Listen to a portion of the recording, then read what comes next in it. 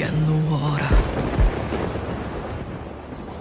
Or I'll raise the tide so high. One of cold will die. Get in the water. Wait. Get in the water.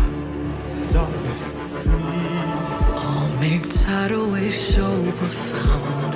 Both your wife and your son will drown. No!